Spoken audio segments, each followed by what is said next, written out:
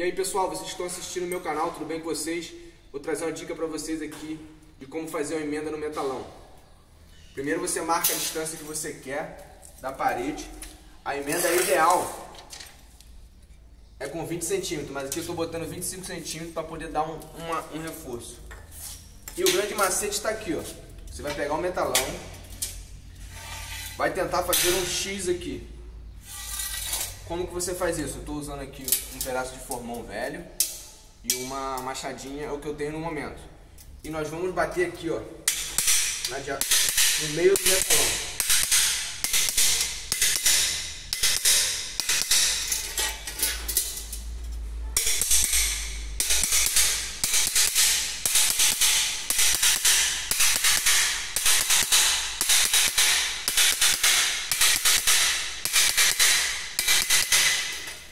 Até a marca que você estabeleceu.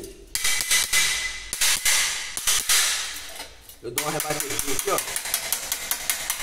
Para ele poder dar uma ajeitada. E continua. Quatro lados do metalão.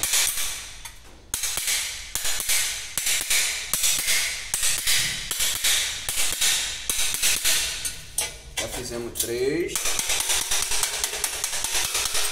Agora o quarto lado.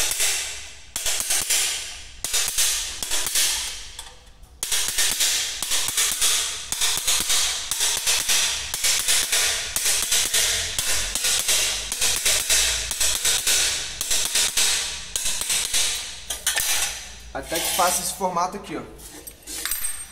Quando esse formato estiver pronto, pessoal, nós vamos pegar e fazer o encaixe tranquilamente. Valeu, pessoal?